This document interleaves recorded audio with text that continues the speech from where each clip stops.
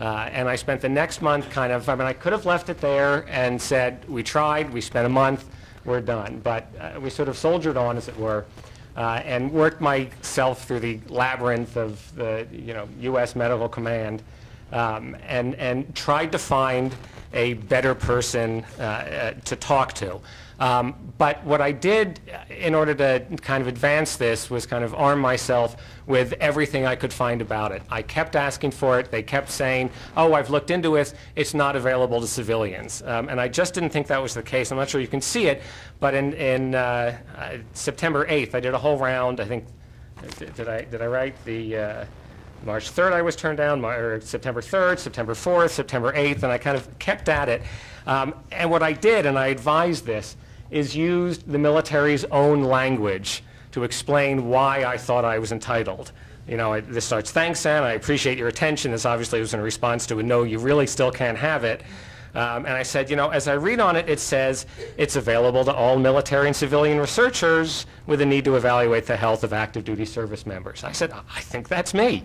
Uh, there was a, a, memorandum by the Assistant Secretary of Defense. This isn't me, this is them, saying it's available. It's, it's for practitioners, policymakers, planners, and researchers. There's nothing in here about, well, you need a direct affiliation and, and uh, you know, another thing from the guy who put the database together, again saying, you know, it's available. There's nothing with this restriction. And we went around and around, and finally, they said, all right, here's the deal. You know, I think they got tired of us. And said, we still don't want to give you the entire million record database. But you tell us what query you would write against that database, what information you want to cull from it, we'll run the query for you, and we'll give you the data. And we didn't want to tell them what we were working on, but we really wanted the information. And we kind of went around and around and decided, you know what, if they keep to their word, we can get a good window into this. If they don't keep their word, the world is going to know about that. And we made, we made sort of that devil's bargain with them. And they ran the query, and we spent a couple of months going, they're never going to give us this data. Um, and one day, out of the blue, an email comes in. And one of the things we were looking for, again, we knew that Congress had ordered the military to assess the mental health of all deploying troops. And we talked to members of Congress, and they kind of thought that meant you sit face to face with someone and they give you the green light before they give you an M16.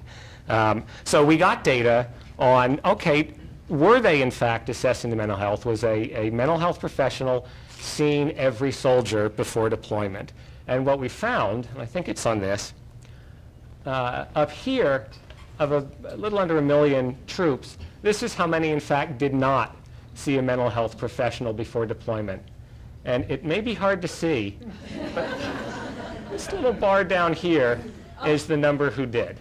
And we didn't actually run this in the paper because we, we couldn't make it big enough for that bar to even show.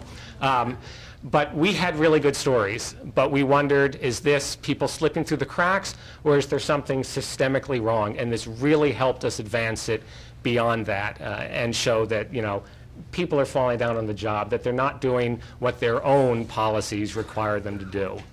All right, so that um, was on the, uh, uh, on the statistical side.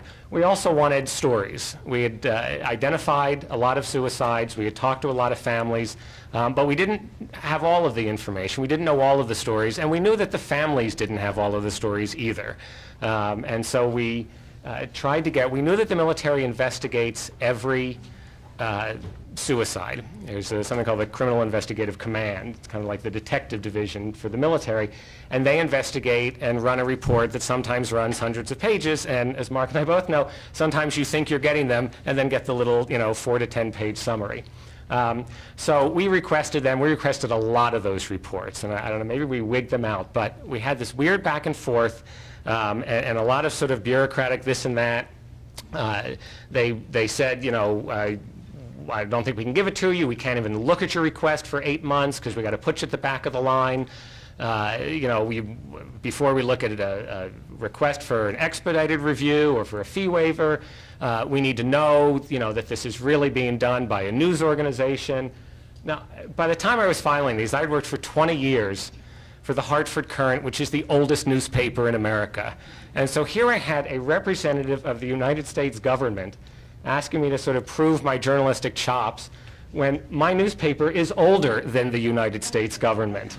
Uh, but the weirdest part of the request uh, was this little bit, and, and I, I think it was, had to do with the fee waiver. One of the things they wanted was a detailed and clear publication plan which, for example, lists the precise sources to be consulted. And I'm, I'm like Googling that exact phrase, and I'm trying to find out, and I'm checking with some people. Uh, it astonished me that, that the government would say, well, before we consider your request, can we have a list, a precise list of everyone you plan to talk to uh, for this story? So I, I, responded to that email. In fact, it was five pages single-spaced. Um, and uh, I used lots of, you can see they're like, you know, numbers in there somewhere. I cited court cases and the military zone rules and sort of learned everything I could so I could sort of throw it back at them point by point, and if nothing else, make it clear I'm not going away. And, and, and having that resolve, as Mark knows, uh, is critical. Um, you know, get to the point where giving you what you're asking for uh, is you know less of a pain in the ass than not giving you what they're asking for. As for that, can I have the, the precise sources somewhere on page three or four? Um, uh, as I, I, I, well, I said I'm not going to address that part, and then, of course, immediately addressed it and said, as I'm sure you know, there isn't a publication in the free world that would submit to a governmental demand for the list of the precise source to be consulted, nor, I imagine, is there a federal judge in the land who would look kindly on such a request. And I will tell you, now this was in the context of a letter that began, thank you, I appreciate your efforts, you know, can we work on this? And I will tell you, it never came up again. I, I think she was embarrassed by it, and it never came up again. And uh, in the end, it took months and months, uh, but we got them. and we got them in time to use a lot of it uh, in the paper.